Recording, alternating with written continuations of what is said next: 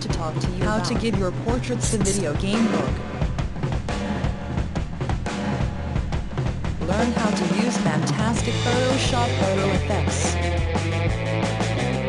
to retouch a portrait and transform it into something sleek and artistic. Video games these days are more and more realistic. And a lot of attention is put on the aesthetics of their 3D characters. You can easily give your portraits the video game look thanks to the following websites. Photoshop.atbest.info There you will learn how to make Photoshop photo effects in the most stunning way.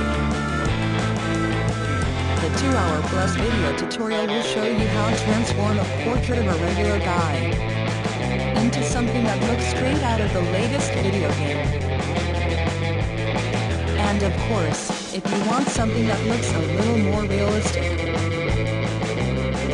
you can easily tone down the effects while keeping a very original look.